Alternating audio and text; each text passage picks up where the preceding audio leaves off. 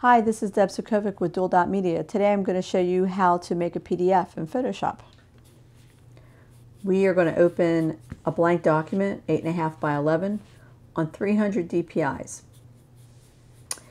If you use anything less than 300 in Photoshop, it's going to pretty much be unreadable. It'll be very pixelated when you open it out into um, Adobe Acrobat or if you need to fax it, physically fax it or whatever. So we're just going to type something really simple. This is a test document to demonstrate how to make a PDF in Photoshop.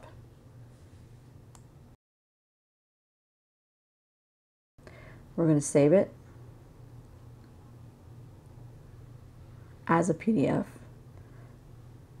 straight in Photoshop. Now, there's a little trick to this because when you save it,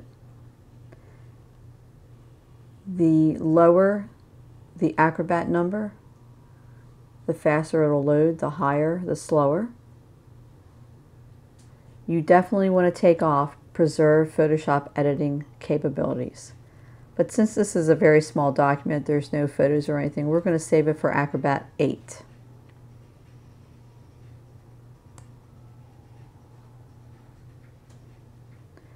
So we're going to save our PDF. We don't have to save it a second time, so we're going to say don't save. And we're just going to go ahead and double click it. And you can see it opens straight into Acrobat. That's it.